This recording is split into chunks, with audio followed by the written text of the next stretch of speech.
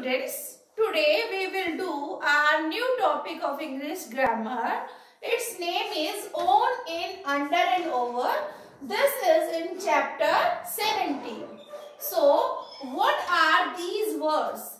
These words are telling us where someone or something is. So, these words are connected to this topic. The name of this topic is pre position means preposition and as the word is telling us its meaning pre-position pre-position means the word is telling us the position of a person the position of person place thing or animal are called preposition. Means the word that tell us the position of a person, place, thing or an animal is called preposition. So, in this sentence, the one question raised in our mind, why we use this? What is the need of this? What is the need of the preposition in our sentence? This is, the answer is that there is a, these words connect to a noun pronoun to another noun or pronoun. These words help us to connect one noun or to another noun or pronoun. You can understand this by this example. The book is on the table. Here, the book is a noun word and here table is also noun word. And here, look at this. This word is preposition. If I hide this word, is sentence gives us any meaning? No, no, sentence is not giving us any meaning without this word. So this word help us to give a, to connect the noun to another noun and give us a meaning of this sentence. So today I am going to tell you few preposition words that I am writing here. According to book, According to your book, I am firstly started. The first word is in your book is on. Second is in. And another is under. Over. Outside. Inside. Between behind and beside. These words are using in your book and I am going to tell you the meaning of these words today. Now, first is own. Own means per. Own means per. In, in means may. Inside of something okay under niche something is someone is under of something over upar outside bahar inside under between beach mein behind पीछे beside के साथ now student, under this, understand this topic by each example. I am writing here. Look at this picture. Here is a wall and cat is standing or sitting on this wall. In this position, we can say the cat is, the cat is on the wall.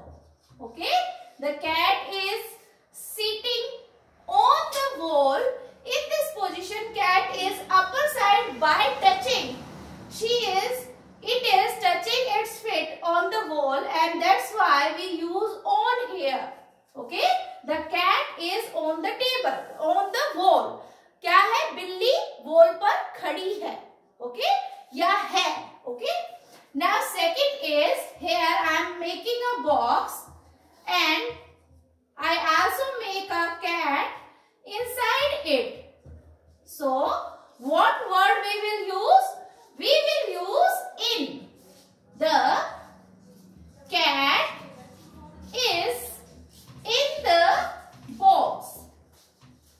So this word gives us meaning of that the cat is inside the box means इसके box के अंदर है. Something is someone is inside of something.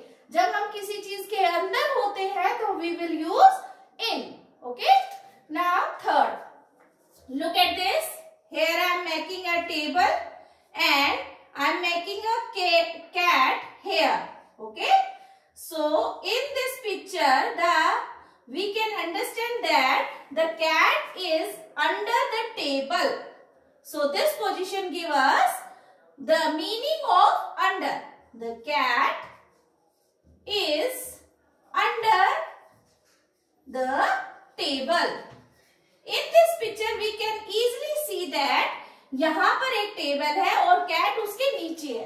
तो क्या होगा बेटा? The cat is under the table in this position we can change our words according to each sentence so आपको इतना समझ आया होगा now look the example of over over means over means ऊपर Upar means without touching. Without touching.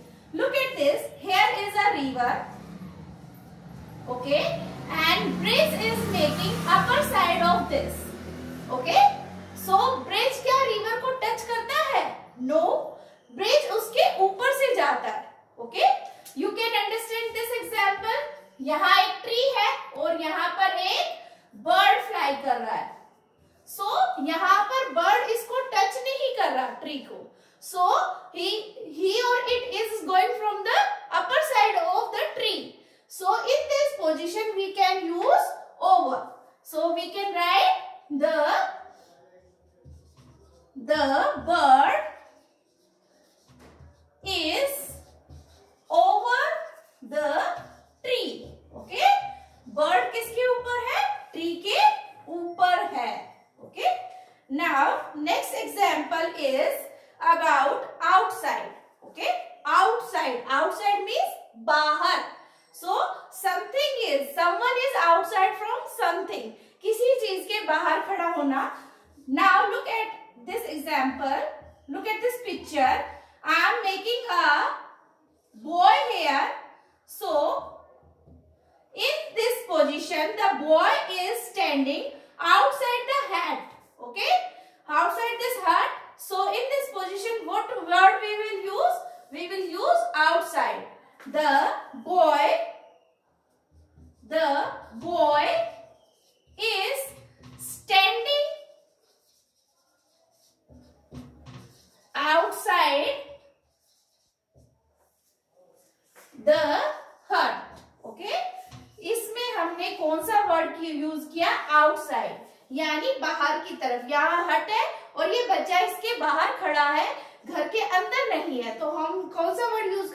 outside. The boy is standing outside the house or outside a hut. Okay. Now see next example.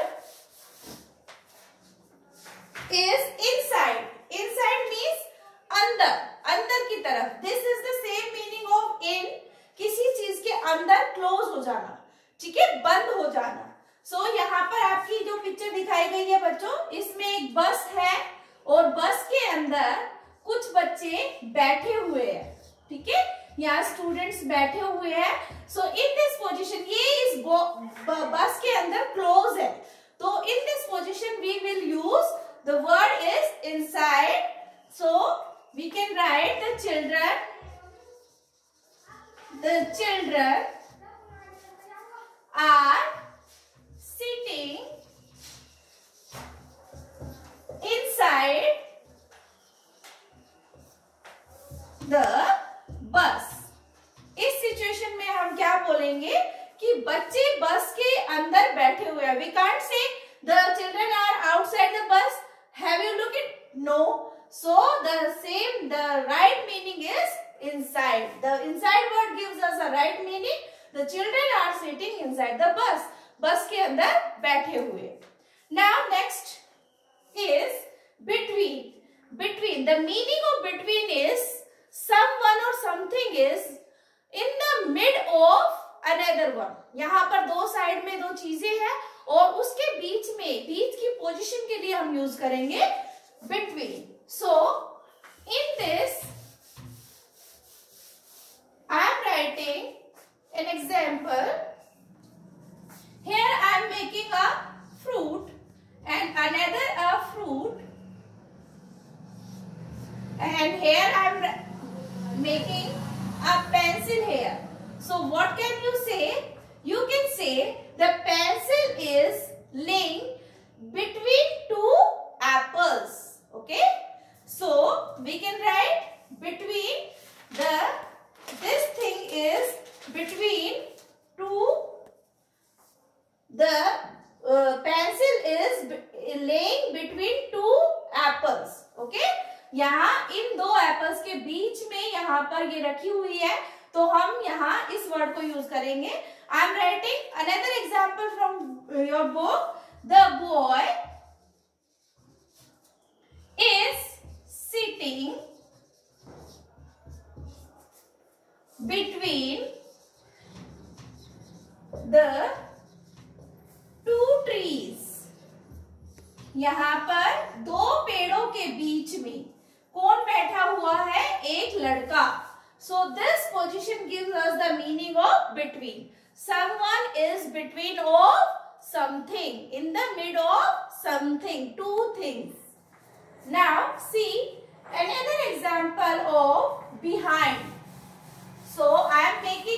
I'll see ya.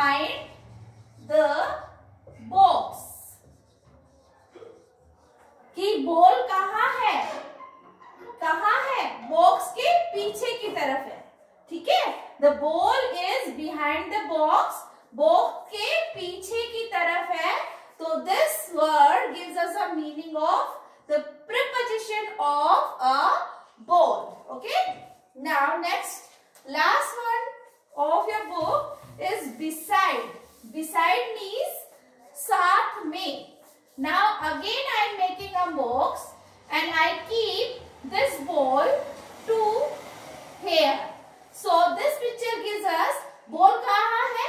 Box के beside साथ में रखी हुई है। So we can write it like the ball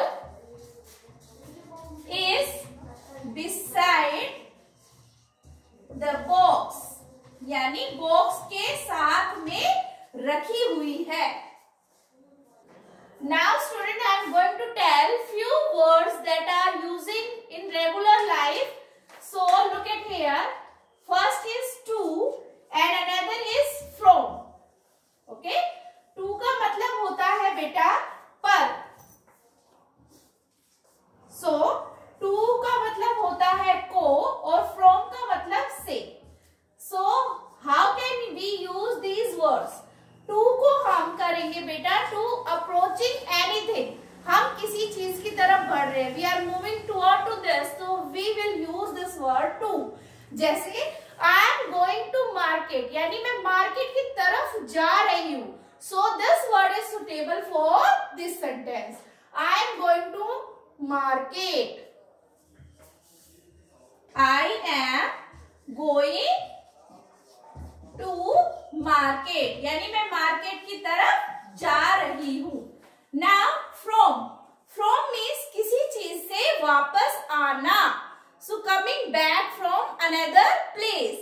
So which word is suitable is from. मैं market से आ रही हूँ. So what will uh, what I will say? I will say I will say I am coming from the market. I am coming from market. So we can use this words like this.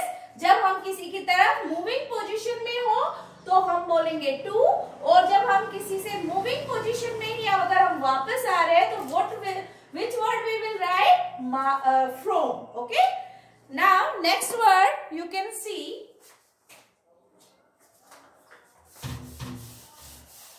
this is about in and into in and into Sometimes few students make mistakes in it. So, I am telling the difference in between. Okay.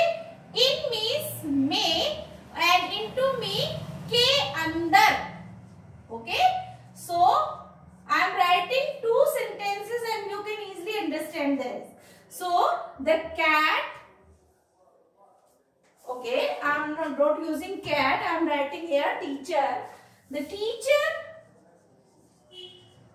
is in the class okay and next is the teacher is going into the class. So both sentences give the position of a teacher but what is the difference in between? The teacher in the class teacher class के room के अंदर खड़ी है standing position में और sitting position में है। So this word is suitable in यानी something is in of something okay someone is inside of something किसी चीज़ के अंदर प्रेजेंट होना। Now next is the teacher is going into the class into means भी अंदर होता है बट के अंदर in the moving position teacher class के अंदर जा रही है the teacher is going inside the class या इनटू द क्लास यानी मूविंग पोजीशन में, यानी क्लास के अंदर जा रही है she is not present in the class she is moving okay so these words giving us the meaning of all. Okay. Now, next I am writing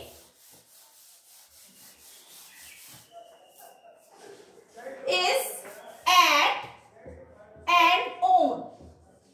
At का मतलब होता है पर एंड ओन का मतलब भी होता है पर। पर इन दोनों में क्या डिफरेंस रहता है? So I am writing I knocked at the door and another I am writing I the wall the picture is the picture is on the wall. So, दोनों का मीनिंग पर है पर डिफरेंस डिफरेंट वे है इनको समझने में। I knock at the door मैंने दरवाजे को खटखटाया। Here is a door and I am standing in a vertical way तो मैंने इसको ऐसे खटखटाया। आई नॉक द डोर हमने ऐड किया। पर नहीं हम ऑन नहीं लिख सकते। क्या मैं दरवाजे के ऊपर खड़ी हूँ? No no. मैंने उसको नॉक्ड किया। I knocked in the vertical way I knock the door so this word is suitable जब हम वर्टिकल वे में खड़े होंगे तो हम एट यूज़ करेंगे। बट जब मैं किसी टेबल पर या चेयर पर बैठी हूँ सो so, कौन सा वे होगा? होरिजेंटल वे तो यानी उसके ऊपर मैं सिट हूँ। तो हम कौन सा वर्ड यूज़ करेंगे? On the picture is on the wall दीवार के ऊपर लगी है, वो उसकी कौन सी पोजीशन शो कर रहा है, उसके ऊपर कवर करने की। So these words telling us the difference now okay so student I hope you understood this topic by the meaning of Hindi and by the example of all these so revise this chapter with the help of this video thank you have a nice day